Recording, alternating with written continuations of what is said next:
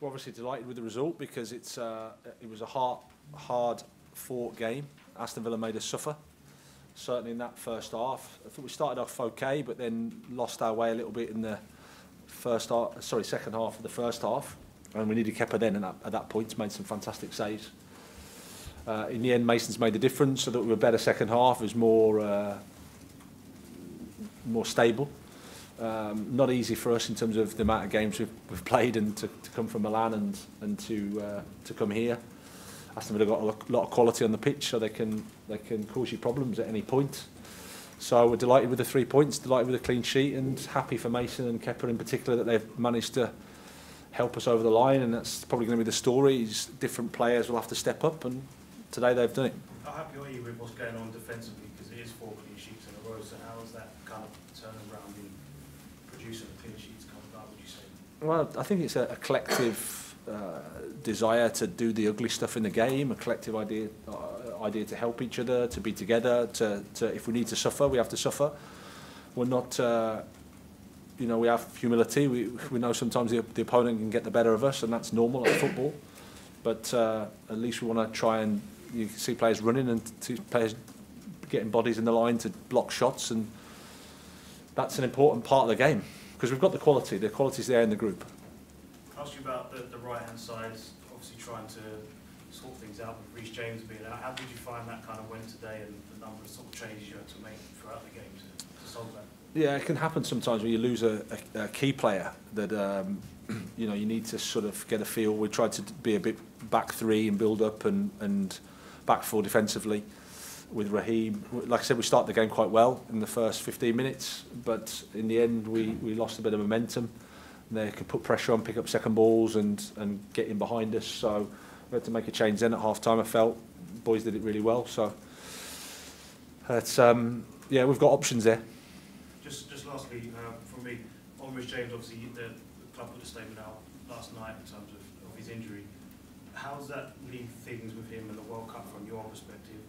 And also, are you okay with, you know, you've time to look at how the club dealt with, you know, him since he got injured? Are you satisfied with the, the club, you know, handled him in the last few days correctly? Yeah, I mean, um, in terms of, of, of his uh, his involvement in the World Cup, I don't know. It'll, it'll depend on how he how he uh, recovers. He'll give everything. I'm pretty sure he will. but he's in a brace for probably four weeks, so that slows everything down, I think. Um, and and yeah, the, the, the boys had a couple of days free. It was important, to, especially with the international players. Sometimes you need to try and give them a, a break when when you can, and that was the idea. Um, obviously, Reese felt a bit of discomfort the following day, so came home and uh, got it assessed as quickly as we as we could. There's no nothing's uh, nothing's got any worse because of how he how he acted in those times. So now we have to support him and get him fit and strong. Yeah. Before the free kick goal, uh, when Mason Mount was standing over the ball, Thiago Silva was standing behind him screaming at Chelsea's two-man wall next to Villa's to move, and he moved them quite significantly. It was, it it was just great leadership. But how important is he, as a not as a defender, but as a man on the pitch, And how influential was that in the goal? Yeah, it's, it's, I've spoken about him a lot, you know. Uh, I've just said to him there, I think he needs to relax a little bit more on the ball. He panics a bit too much, you know. um, it's just, he's at a, the highest level you can think of, as a, like you say, as a character, as a man, how he leads the team, how he's playing. I think he's made some really important blocks and in, interceptions and just that little bit of know-how that you can't you can't uh, put a price on. So he's he's been fantastic for us. Um, he felt a little bit of tightness in his hamstring, so we'll see how he recovers for Wednesday. But uh, apart from that, he's uh, he's a top person. Andy.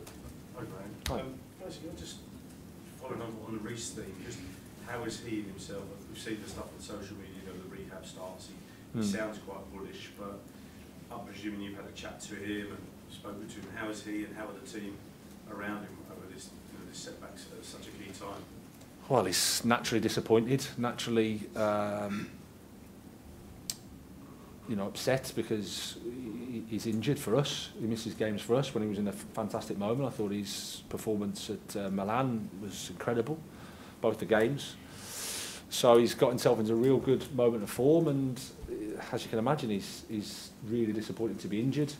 but he'll give everything. He'll fight. He'll he'll try his best to get back as quickly as he can, and then when he is, he'll be a top top player. So we don't rule him out of the World Cup. I mean, I know Chelsea said eight weeks in the statement, but I guess you know it's moving heaven, heaven and earth, and we don't rule him out of the World Cup. Well, it wouldn't be my place to predict what's going to happen. You know, he's going to be in a brace for, like I said, for four weeks. That's all I know. The next four weeks looks like for him, and, and that has implications in terms of what he needs to do to to get to get fit from there.